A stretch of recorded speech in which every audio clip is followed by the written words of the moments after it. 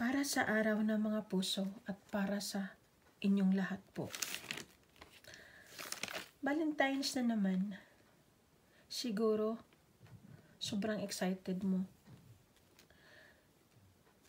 At kung ano-ano mo, anong pinaplano sa iba, kung ano-anong pinaplano sa iba, para lang mapasaya o mapakilig ang kanilang mga mahal sa buhay. Gaano ka ba kahalaga ang araw ng mga puso? Para lang ba sa mga taong may minamahal o nagmamahal o mamahalin pa?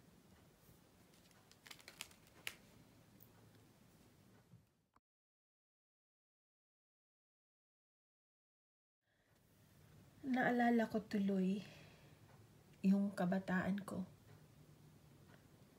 my teenager life, my high school life. Una akong nakatanggap ng regalo, tsokolate at rosas. Cloud9 pa ang brand ng tsokolate. Sobrang saya ko nun. Wow, ganun pala ang feeling na may, may natanggap ka at may nagpapahalaga sa iyo. Sobra akong kinilig. Kahit cloud9 lang yun, pero yung yung saya at kilig umaapaw hanggang cloud.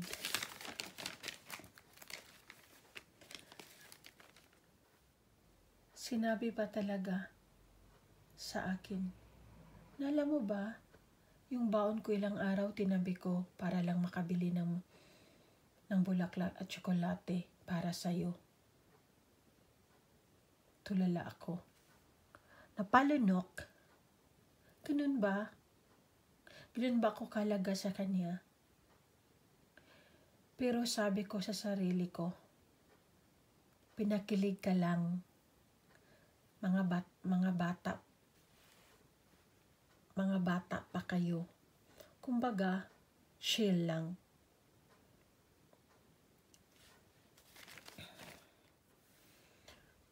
So, hindi ibig sabihin may regalo ka, mahal ka na. Hindi ibig sabihin dinidate ka sa mamahaling restaurant, the best na siya. Mga salitang mahal kita, ang daling bigkasin. Ibadama mo hindi puro salita. Yung pangako mo na sobra akong naniwala, sabi mo, hindi kita ipagpapalit. Kahit kanino, sabay tayong mangarap, sabay tayong ngumiti, sabay tayong umiyak, sabay tayong lumaban, basta nandyan ka lang, nakahawak kamay, hindi kita bibitawan.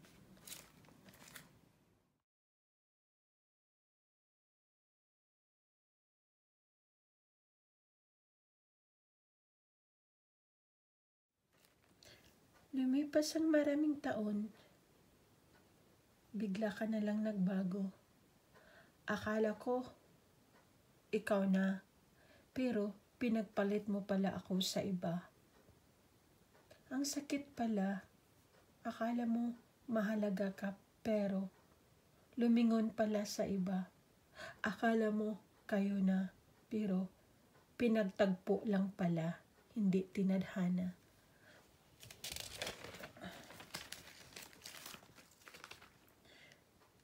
Ang sakit. Sobrang sakit. Pero, kinaya ko na wala ka na. Hindi talaga tayo. Hindi talaga tayo para sa isa't isa. Pero, salamat kasi dahil sa iyo, ang dami kong natutunan sa buhay. Na ganun pa man, ganun pala ang magmahal. Handa kang masaktan at iwanan. Salamat kasi isa ka sa alaala na Dati, inayakan ko ng sobra. Pero ngayon, ay tinawanan na lang.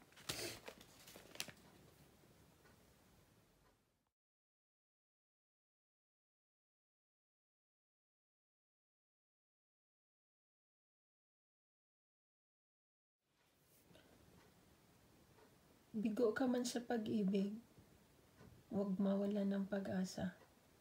Damdamin ang sakit, tanggapin at yakapin. Mahalin ang sarili at bumangon. At tuloy lang ang buhay. Kasi habang nabubuhay ka, may pag-asa ka. Wala mang perpektong tao pero may tamang tao na nakalaan para sa iyo.